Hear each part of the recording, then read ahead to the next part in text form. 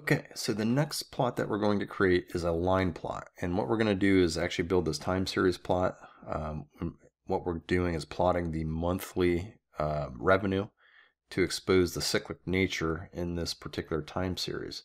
So we can see that there's higher months and then there's lower months, higher months, lower months.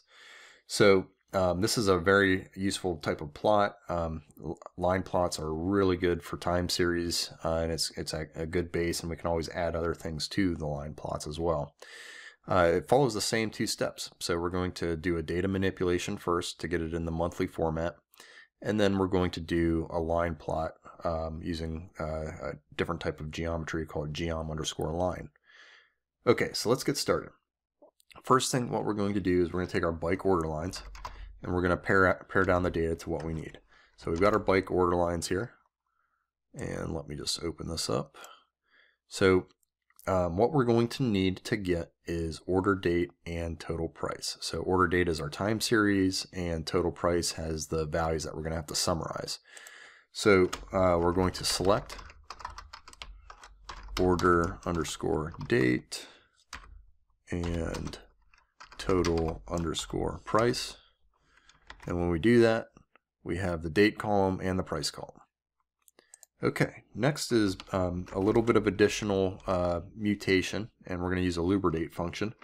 So we've got mutate, uh, and what we're going to do is take this date column, and we're going to grab the, uh, we're going to take it to floor date. So we're going to uh, make a basically a year month. So year underscore month, and we're going to set that equal to floor underscore date. X will be the order date column. And the units will be months. So let's send this to the screen, see what we get. Okay, so this is a date time that's output. If you want to, um, you could change this to, you could pipe this into YMD to do year, month, day, and that'll um, get rid of that date or the uh, the, the timestamp.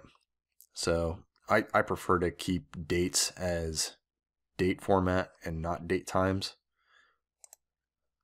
Okay.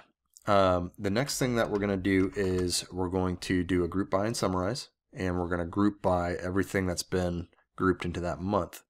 So what we can do is do group underscore by, and we're going to group it on year underscore month. When we do that, we get our groups here. Uh, it's a tibble 15644 by 3, but there are groups now that have been added, and there's 60 total groups because there's 60 total months in there. The next thing that we're going to do is summarize, and we're going to aggregate, uh, creating a new column called revenue and that column is going to be the sum of total underscore price. Okay, so when we do that, we get a 60 by 2 tibble out. Um, I always add an ungroup and um, I do that just for good measure, um, just to make sure there's no groups that are left over. Okay, so what we have here is the year month. So 2011 0101, which is January 1st, 2011 uh, to February 1st, 2011, and so on. And we have the revenue for each of those months. So this is the data format that we're going to need for the ggplot.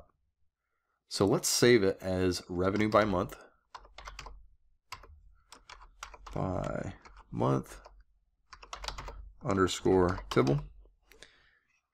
Alt dash, Control Enter, and we can output it down here, revenue by month tibble, Control Enter, and we've got it saved here appropriately.